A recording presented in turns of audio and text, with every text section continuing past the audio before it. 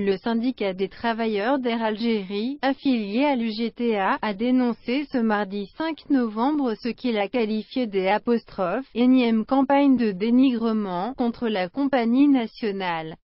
Pour l'UGTA, ces attaques exogènes qu'a subi Air Algérie ces derniers jours sont incongrues et inopportunes. Des attaques dont le but serait l'installation d'un climat de psychose conduisant à la désaffection des passagers pour servir les intérêts des compagnies concurrentes.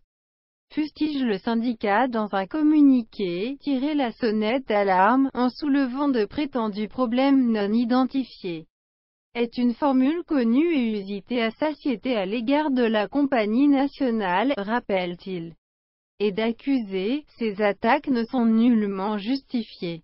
Si ce n'est pour affaiblir la compagnie nationale et ainsi servir des intérêts occultes. L'UGT estime qu'il est étrange et dangereux d'évoquer la faillite de la compagnie nationale en ces temps.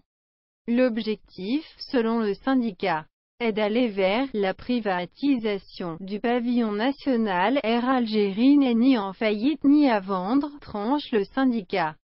Personne ne peut s'ériger le droit de porter atteinte à l'intégrité de la compagnie, ajoute-t-il. Dans ce contexte, le syndicat minimise les problèmes financiers d'Air Algérie.